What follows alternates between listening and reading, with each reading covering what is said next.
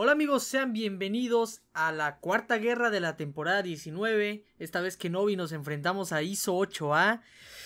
Uf, vaya que iba a ser una guerra muy difícil porque pues si ustedes recuerdan esta alianza fue con la que nos enfrentamos en la última guerra de la temporada y estuvimos a punto de perder el primer lugar. Pero por por haber jugado mejor, pues conseguimos el primer lugar nosotros y les ganamos, ¿no? Y pues bueno, eh, en la primera sección me tocó darle al camino 1 a este Anhilius y pues bueno, eh, en realidad me fue muy bien. Afortunadamente, pues Anhilius no es un luchador que se beneficie por el nodo de defensa. Entonces, pues es fácil de utilizar a Quake en este nodo. Porque en el camino 1, si no me equivoco, eh, como tienen Arc Overlord que activa regeneración se vuelven imbloqueables. Entonces hay que tener mucho cuidado, pero pues no me, no me pasó nada, la verdad. Eh, me potencié hasta el culito porque eh, pues sabíamos que iba a ser una guerra difícil. Aunque luego ustedes van a ver qué pedo, ¿no? Y pues en el siguiente nodo me tocaba darle a este Blade. Activé potenciador de invulnerabilidad. Y luego, luego al inicio de la pelea, pues lo perdí. Ay, F por Pepe.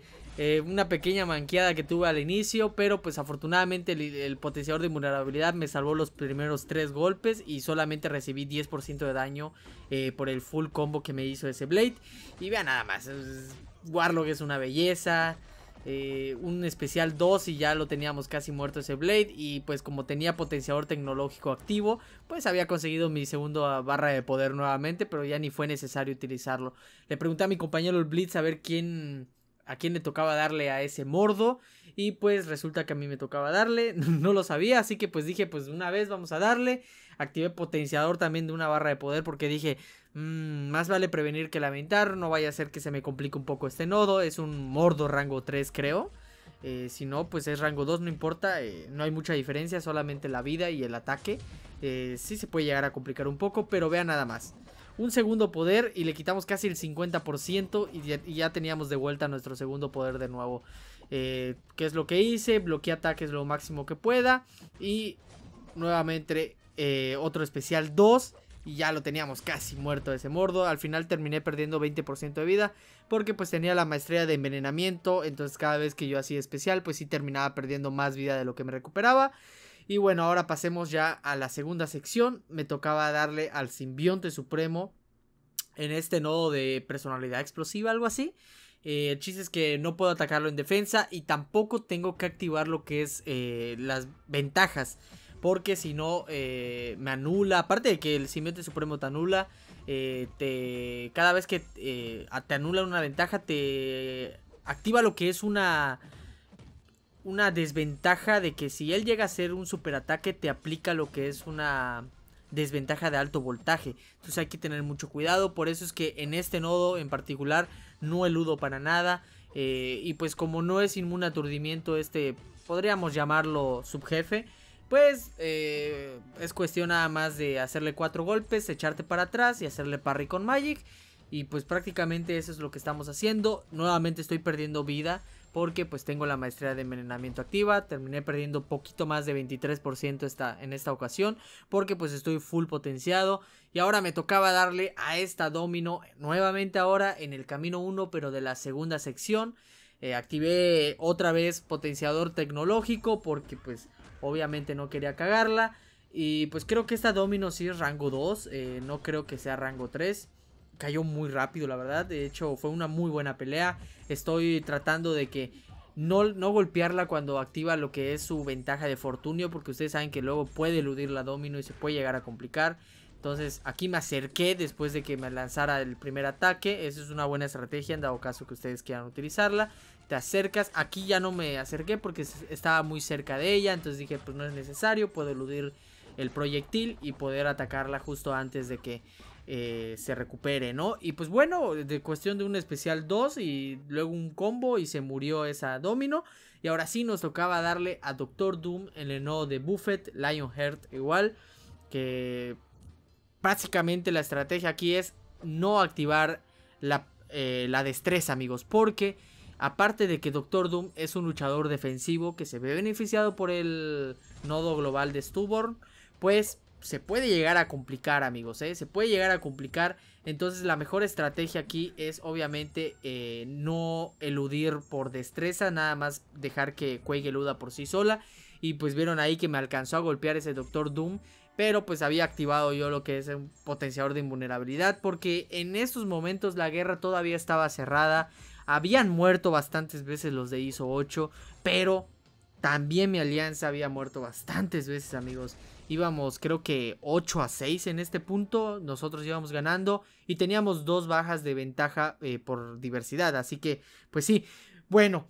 Al final, eh, ya en este punto, ya íbamos ganando. Ya la guerra estaba súper ganada, pero pues no quería morir porque dije, eh, pues, ¿para qué vamos a morir, no? Entonces, vi que en la tienda estaban vendiendo los potenciadores tecnológicos de 150%, entonces dije, pues vamos a utilizar ese contra este Weapon X.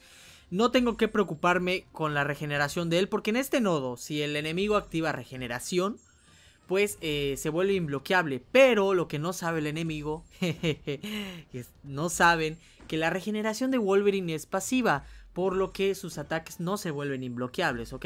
Entonces no tengo ningún problema en bloquear ningún ataque, estoy consiguiendo el 25 de rabia y listo, ¿vieron? No utilicé el segundo especial porque se vuelve imparable, una vez que perdió su imparable, ahora sí le intercepté con segundo poder y listo, ahora sí interceptar nuevamente con un golpe, nuevamente utilicé el especial 2 y se murió en cuestión de 45, 50 segundos ese Weapon X sin ningún problema. Era subjefe, hay que aclararlo. Y pues ahora amigos, cambié maestrías porque, ¿qué creen? Así es. Me tocaba darle al jefe. Me tocaba darle al jefe Doom. ¿Y con quién creen que le iba a dar? Con Magic, así es. Estoy ligeramente potenciado porque pues obviamente no me iba a potenciar con los de 6 horas. Y pues activé lo que es una el potenciador de una barra de poder porque dije, pues, quiero probarlo. Porque eh, he visto que Magic puede bajarse a Doctor Doom, pero yo nunca lo he hecho. Entonces, pues iba a ser una buena prueba para mí. Eh, lo que sí me di cuenta es que el daño que tú recibes bloqueando golpes de Doctor Doom es altísimo, ¿eh? Pierdes un chingo de vida. ¿Vieron cómo estoy perdiendo vida? Pero estoy aprovechando la habilidad de limbo de Magic para que eh, al final me termine recuperando. De hecho, hay veces, hay momentos en el que yo eh, me dejo golpear adrede en defensa, obviamente.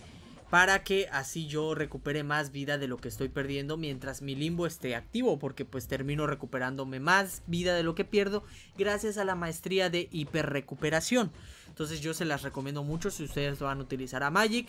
Y pues básicamente amigos, la estrategia, la estrategia en esta pelea es tratar de no activar destreza porque pues Doom es luchador eh, de Stubborn y activaría lo que es eh, la ventaja de indestructible. Entonces no queremos eso. Y de ahí, obviamente, mientras Doom eh, no gane poder, o sea, que tenga bloqueado su poder, no me haga especial 1, pues no va a conseguir su aura de Hazaret. Por lo que no va a resistir mis golpes. Entonces básicamente esta es una pelea normal con Magic. Cuando lo utilices, eh, obviamente utilizando Magic contra Doom. Eh, nada más tienes que estar pendiente que, pues, obviamente no falles las interceptadas. Al inicio de la pelea estaba yo fallando mucho al interceptar.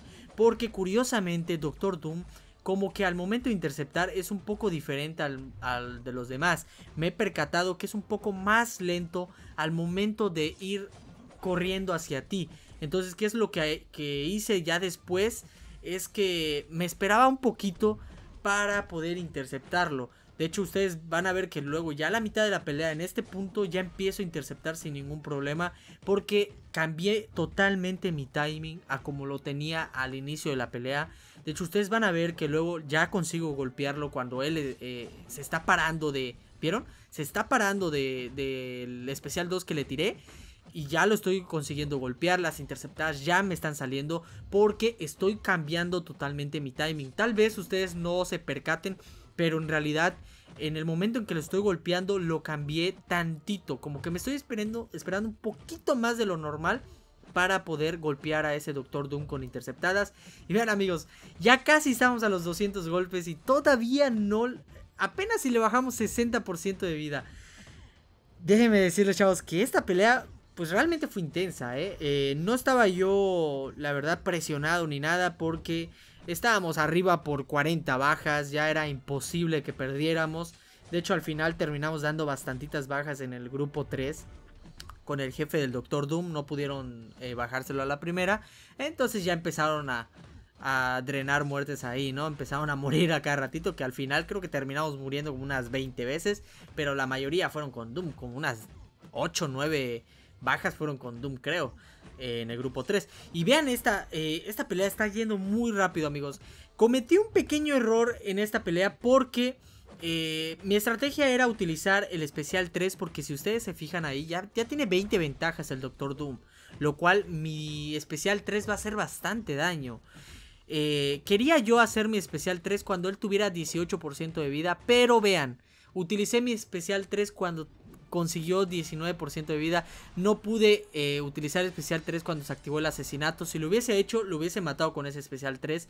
Pero no fue así. Entonces dije, ok, bueno, vamos a bloquear ataques.